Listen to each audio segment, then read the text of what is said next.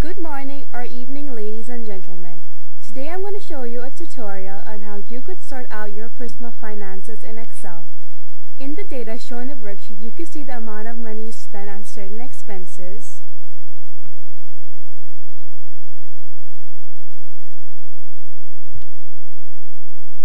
and the amount you deposited.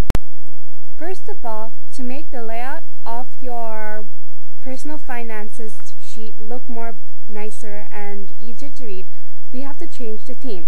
So go to Page Layout, click on the Themes tab, and click on any theme you want. For this exercise, I'm going to click on Trek. Now I'm going to show you how gradually your money gets reduced each day due to your expenses. This, you need a formula to subtract the amount of expenses from the money you already have.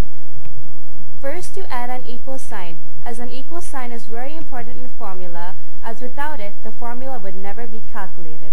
And then using cell references, which is clicking on the cell, you click on cell E3.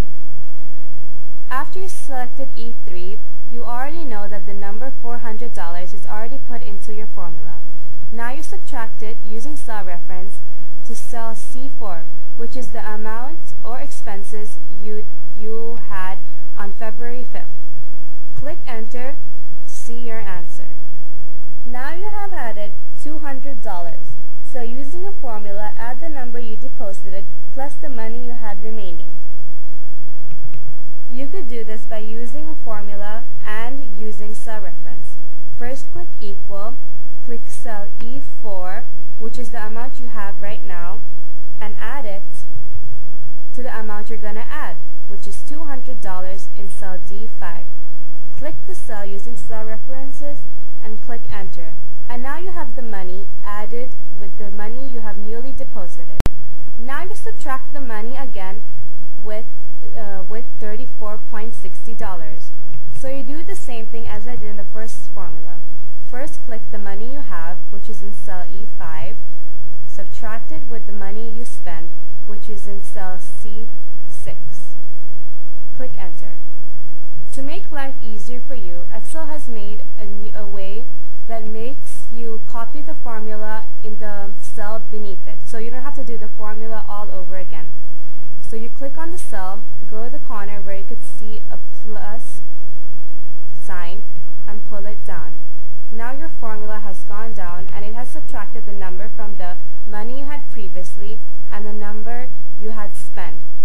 So it subtracted it. Click enter and now you get the money you have remaining. And now you get your answer. You have now added money again. So watch carefully as I show you how to add money with the previous money again.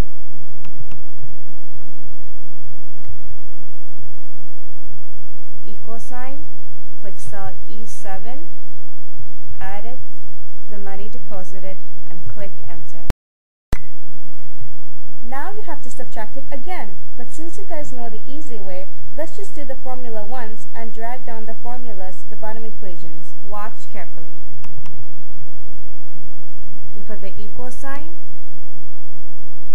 enter the previous number you have, which is E9, subtract it with your expenses. Click enter. And now you drag the formulas below.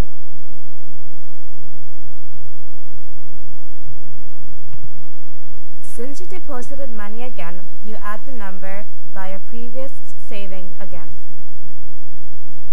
Click cell E12, add it with the number deposited, which is in cell D13, enter, and now you've got your total money.